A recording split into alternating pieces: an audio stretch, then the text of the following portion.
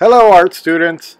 Uh, I thought I would show you uh, a quick video as far as how to get started on your mind map.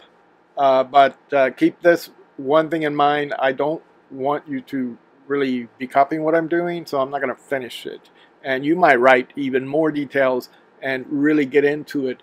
And don't forget, since you're doing a mind map, there's no such thing as putting something wrong or a wrong idea because it's just a, like a brainstorm session.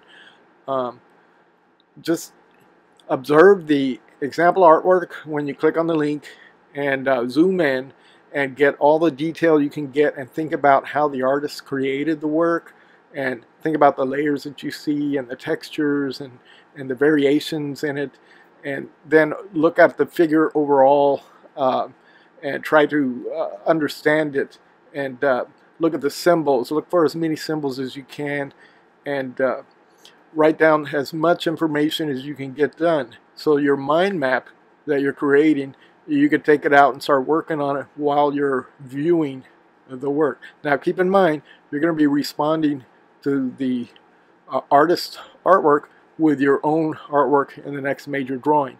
So uh, have fun and have a wonderful day. Thank you.